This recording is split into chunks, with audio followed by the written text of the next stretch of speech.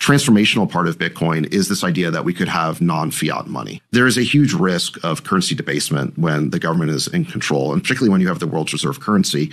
There's just such an enormous temptation to print money to finance your budget and mm. to rack up loans that become unpayable. We owe an amount of money greater than the size of our entire economy or our economic output.